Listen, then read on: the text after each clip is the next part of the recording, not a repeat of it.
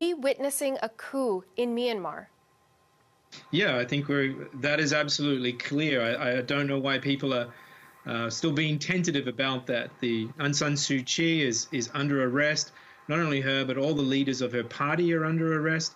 It's also pretty clear that the military has been rounding up student leaders. They've been rounding up what appears to be some human rights defenders and other activists. So I think we are already in a very serious and, and very uh, desperate situation. Who is behind this? This is a military coup. The military is very unhappy with the results of the democratic election, which they lost overwhelmingly. They're scared of anything that diminishes in any way their, their power, their control of the country, and so they've decided to sweep aside Aung San Suu Kyi, even though it should be said she has been an apologist for many of the abuses that they have committed in the past, including the genocide perpetrated against the Rohingya population in 2017. She stood in a court in The Hague at the International Court of Justice and defended them. Nevertheless, they're afraid of anything that diminishes their power, and now I guess they've decided she has to go. Did she know this was coming? Did the international community know it was coming? I think there's clearly been signals, not least of all over the weekend when the military sent tanks into the street. The military was seen, and a number of, of foreign embassies, including Canada, I believe, spoke out, you know, saying that a coup would be disastrous, that it would be terrible. They were chastised by military authorities for being alarmist, but of course, literally, I think six or seven hours later, the military did indeed launch this coup. Is her life in danger? I think her life is potentially in danger. I hope not.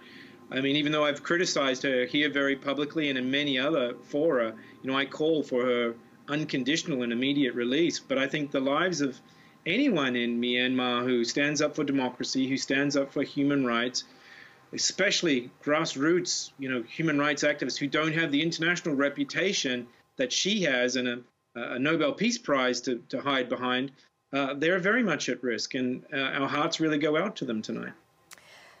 You mentioned that you're calling for her release. Uh, I should note that CBC News has reached out to our federal government through Global Affairs Canada to get reaction. What do you think the international reaction will be? I mean, I think this is what it, it should be and what it must be. And I think it's it should be very strong. And I saw already that your permanent representative uh, in New York at the UN uh, Bob Rae has already said something. I hope that Canada will come out very strongly against this coup because I think the only way of defending people's lives, of saving the situation, of lowering the temperature in the country is precisely for the international community to increase the pressure on the military, to let them know that the whole world is watching, and to let them know that there will be consequences uh, for their actions. So, what do you anticipate is going to happen it's Monday morning. What's going to happen by Monday night? What's going to happen in the next few days? Well, I think the big unknown now, of course, is how the, the vast majority of the population inside Myanmar will react. You know, are we going to see people come out into the streets? I mean, in Myanmar, that is not an easy decision to make. That could be a, a very dangerous decision for people. But it'll be, you know, we'll have to see if people will come out, if people will protest, what they're going to do about the fact that the military has, it appears, essentially deposed the government. Uh, they haven't officially said that they've done that yet, but certainly everybody is under arrest. People have been rounded up and, and taken away. The phone lines have been cut. The internet is down. Nobody can reach anybody inside the country. And so people like myself, and I'm sure like you guys who have been reaching out to colleagues uh, inside the country, can't get hold of, of anybody. So I think the next 24 hours is going to be crucial. It's going to be crucial in terms of what the international community says, and it's going to be crucial, most importantly, in terms of what the people of Myanmar themselves say and do.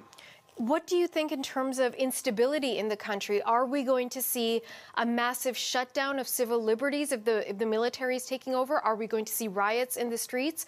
How serious is this going to get? I think it's a very dangerous and a very potentially deadly situation. We're talking about a military who have a long, long history of perpetrating atrocities against their own people. As I said, they've already committed a genocide against the Rohingya people in Rakhine State in 2017. They've been responsible for war crimes committed against armed ethnic groups in different parts of the country.